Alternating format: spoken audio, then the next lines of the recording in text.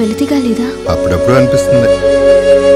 అడవిలో కూర్చున్నప్పుడు వెన్నెల బాగుంటే వెన్నెల ఎంత బాగుందో అని చెప్పుకోవడానికి ఎవరు లేరని. నాతో ఉండండి. వెన్నెల చూద్దాం. హితుడు మంచి జ్ఞాపకం లాంటి సినిమా.